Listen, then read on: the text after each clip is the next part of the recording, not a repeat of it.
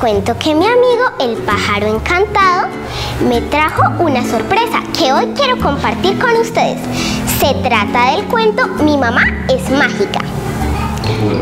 Ahora se los voy a leer. Mi mamá es mágica de Carl Norak. Mi mamá no tiene un sombrero puntiagudo o una varita.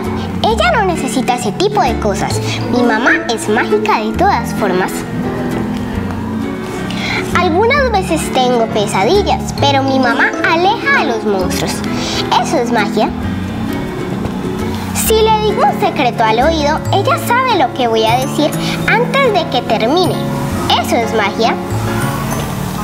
Cuando me lastimo, mi mamá besa mi herida y ta ta ta ta. Ahora todo está bien. Eso es magia. Nadar con mi mamá es lo que más me gusta. Juntas nadamos tan rápido como un delfín. El vestido favorito de mi mamá es azul con nubes blancas. Cuando se lo pone, el cielo nunca está gris. Cuando mi mamá planta una semilla, las flores siempre crecen. Algunas veces llegan a ser más altas que yo. Eso es magia. Cuando mi mamá canta, las mariposas vienen a escucharla. Eso es magia. Pero algunas veces yo también soy mágica. Cuando canto y bailo, mi mamá siempre se ríe. Me encanta cuando mi mamá prepara pasteles. Para mi cumpleaños hizo el pastel más grande de todos. Era tan grande como un cohete.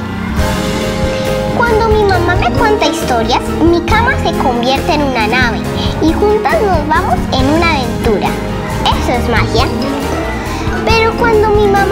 que me quiere, es el momento más mágico de todos.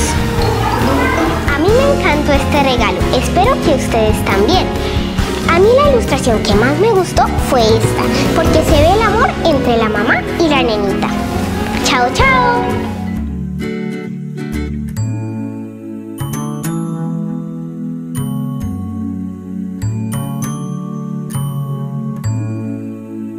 Mi nombre es Manuela Orozco Franco, soy booktuber, es decir, que yo promuevo la, la lectura en YouTube.